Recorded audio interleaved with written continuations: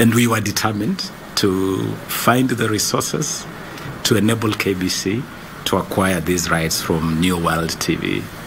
I want to thank uh, my brother P.S. Uh, Kisiangani, who has been exceedingly uh, supportive, sending us reminder after reminder that we have to pull this off, we have to make this happen, we have to send this live signal to the bottom of our socio-economic pyramid by enabling the people of Kenya to enjoy this beautiful spectacle of African football.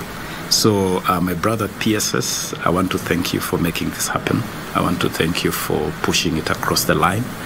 And the incredible team at KBC, the technical team, there has been a lot of enthusiasm from the acting uh, MD, and I'm very happy that uh, the acting MD has come and um, uh, hit the ground running and uh, uh, been part of the momentum that has built very well and your whole broadcast team. So, Team KBC, Hongera.